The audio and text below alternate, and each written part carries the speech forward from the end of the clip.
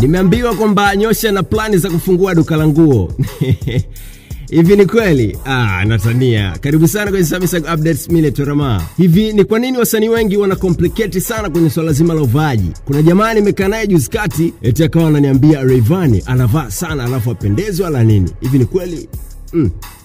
Alafu akuishia hapo tu, akaniambia tena Harmonize naye nguo zake ananunua bei sana, lakini hazieleweki. Da, ila yule jamaa ni mnafiki sana.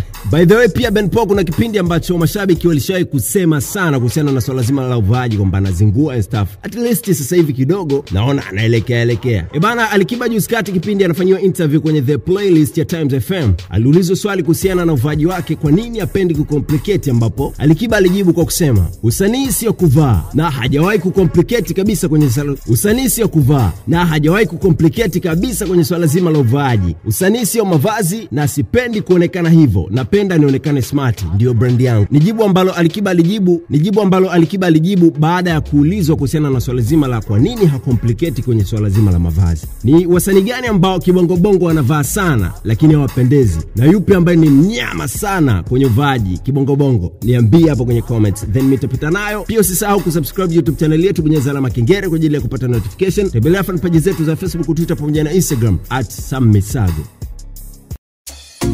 Kila mtu ni mshindo tatu mzuka. Ni mzuka mkubwa wa aina yake. Mzuka na Stars, ushindi kwa wote. Tatu mzuka.